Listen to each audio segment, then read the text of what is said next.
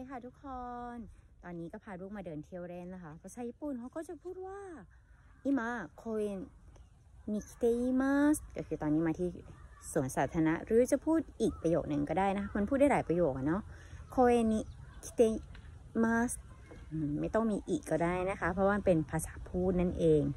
ก็จะพูดง่าย ๆนะคะ ภาษาญี่ปุ่นมาแบบค่อนข้าง shortcut นะเนาะพูดสั้นๆ ไม่ต้องคิดมากค่ะ เพราะว่า พูดแล้วแบบ เอ้ยถูก grammar หรือเปล่า พูดไปแล้วคนญี่ปุ่นจะเข้าใจไหม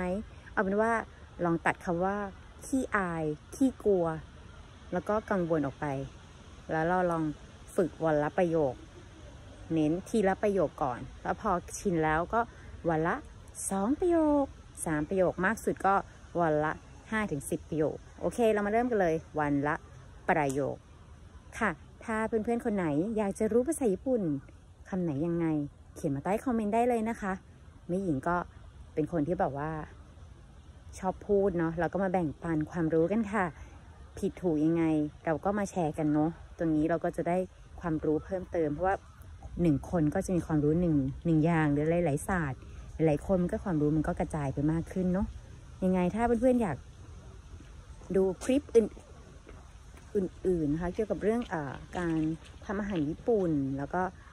ไอเดียความคิดอะไรทั้งหลายทั้งแหล่เนาะวัฒนธรรมญี่ปุ่นไปดูได้นะคะ มีอยู่หลายคลิปเลยทีเดียว